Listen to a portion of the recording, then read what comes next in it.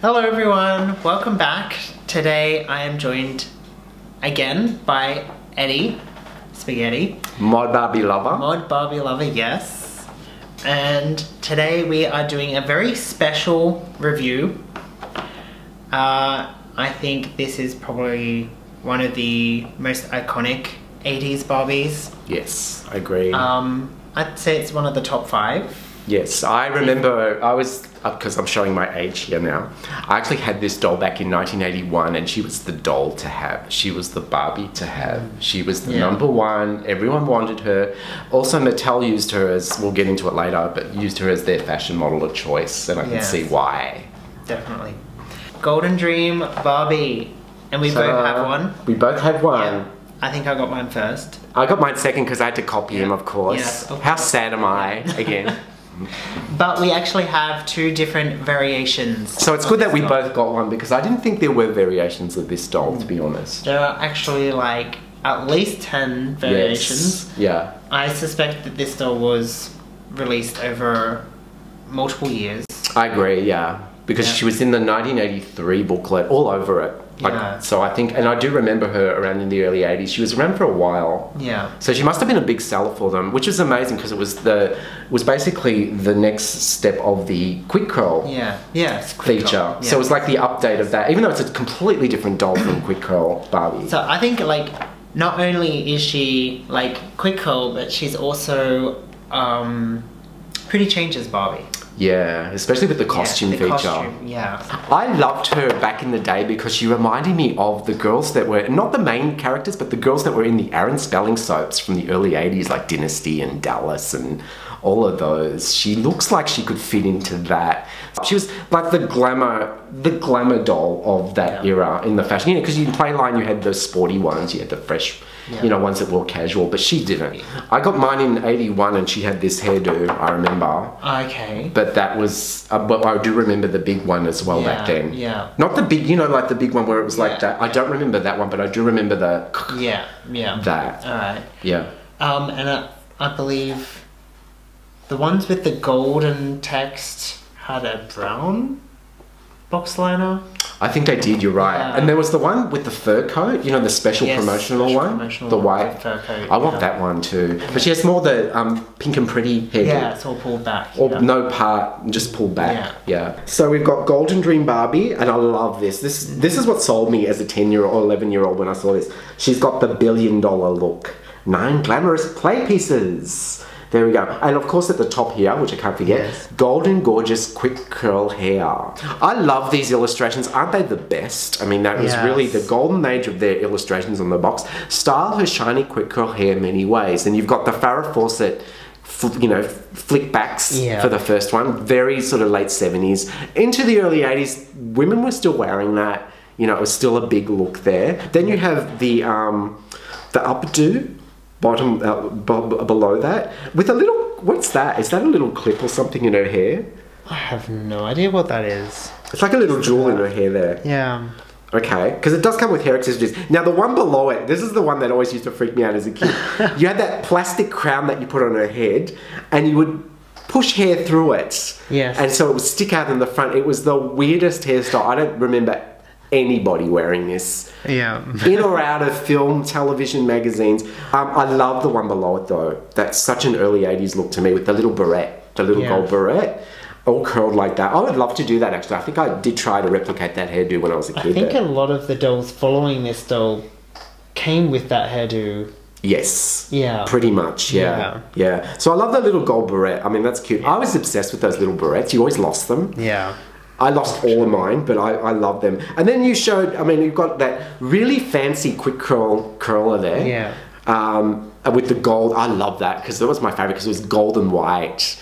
So dressy. A lot of Barbie collectors would be used to that one there because it was used in the booklets as well. Um, let's just read it here. The doll who glitters like gold from head to toe, and we've got shiny hair and dazzling jewelry, and this is all her interchangeable pieces. So this was very sort of Pretty Changes. I think Pretty Changes was a huge success for them, wasn't it? Because Yes. ever since then, you know, you had all these interchangeable pieces for dolls well into the 80s. I remember Fabulous Fur was the same. You had all the interchangeable Oh, yes, fur pieces. Fur, yeah. So um, it was a good, I mean, it, it gives you a variety of outfits just by buying one doll. So he's got the glittery cape and it could be a hat as well. Glimmery gloves, I love the fingerless gloves. They're so of that era. I absolutely love them. They're gorgeous bodysuit. Fabulous skirt, glamour pants. Glamour pants. I think I that was love- my yeah. I the name? that term. I think that was my nickname in college. Glamour pants. Glamour pants. Yes, I think that was. Or I think I wish it was. Um, and then shiny shoes. Shiny shoes. I actually shoes. forget what type of shoes she has. It's just like the glittery transparent I've ones. actually seen online. There are pictures of like some gold-colored ones. There are some just plain clear ones. I'm interested to see because I can't remember. yeah. I remember mine were I think transparent with some gold flecks in it. I have a pair that came with a TLC um, quick curl that I got, Ah. they were clear, just plain clear. Oh. But I've definitely seen some some variations on that. So Okay, we'll well, see. we're interested to see. Yeah. Okay, so after you've got that fabulous, you know, they've even got the hand. Have you noticed, like The holding the doll in the illustration there, so you can Oh, tell she's a doll. yes. I've never noticed it before, but yeah. Okay, okay. So we've got glamorous shiny accessories and for lots of hairstyles. So we've got the two barrettes. You've got your curling iron. You've got the hair arranger. That's that weird, freaky plastic thing that you wrap around her head like the crown. You've got the comb. The comb and the brush look really special too. They've sort of got the gold, you know, um, bits Yeah. on them there. Um, so you've got that styling foam too, that big wheel, and this is the this is the two things I really loved out of these hair accessories, the two hair fashion combs. Um, so you've got create many looks with her glittery five piece costume, and she's just got her basic bodysuit there and her hat. So she's you know going to the pool, but she's not getting wet. Yeah.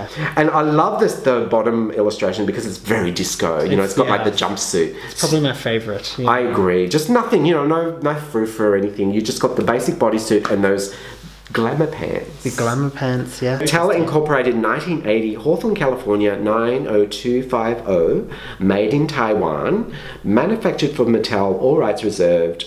R&TM designate US trademarks of Mattel Incorporated, blah blah blah.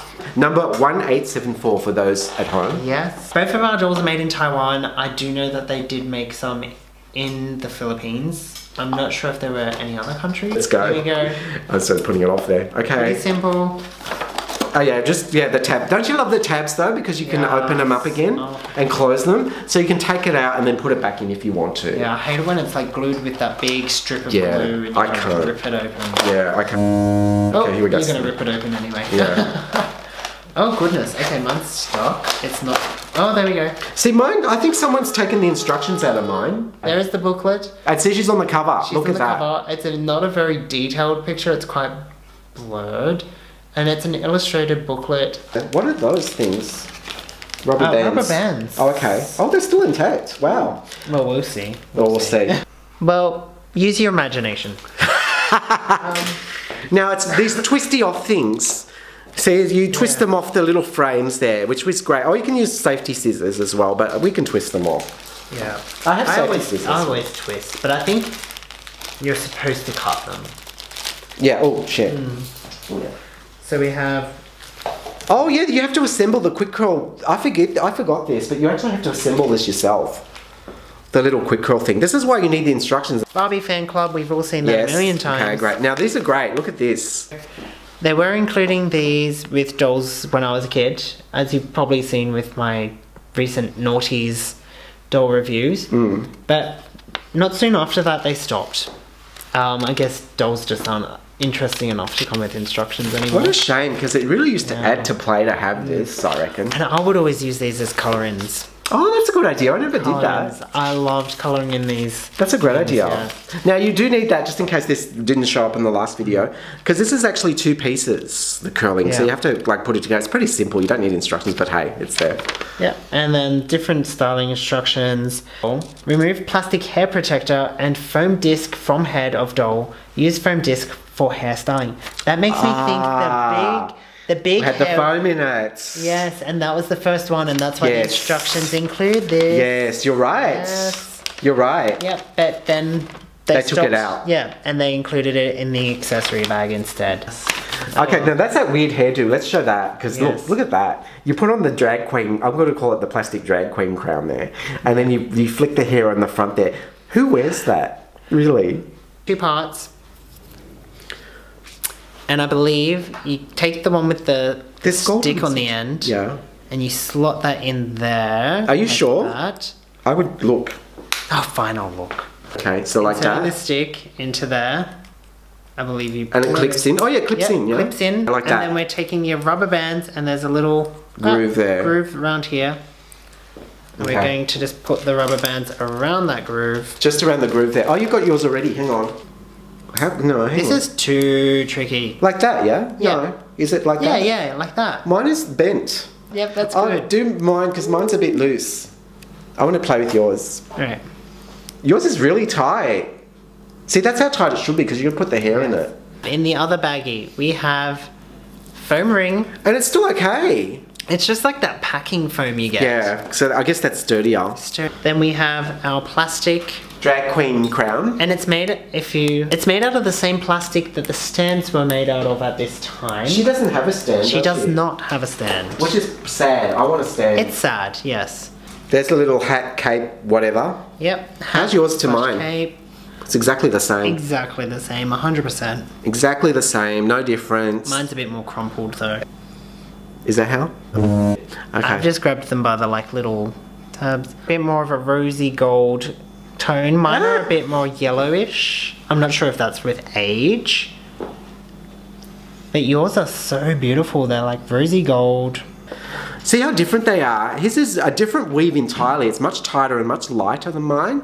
And mine's just that typical gold lame. This was the more common one, my one. Yes, I remember that everywhere. That's the rarer one by sh- by far. And it's more of a, a really thick um, fabric. It's very kind of stiff, I'd say. And you said it was like almost like a cotton. It was mixed with a Yeah, cotton. it's like a cotton mix with um tinselly, and it's more tightly woven. This is a bit more. Um, it's softer, more pliable. Um, it has larger. It's like a a larger weave. it's Larger like a thicker, yeah. looser, larger Yes. weave, and it's just lame. It's no cotton or anything there. yeah. So it's very scratchy on her, but she won't mind. The jewelry here, these are the pink rings. These really intrigue me because I never noticed them until Dean said something.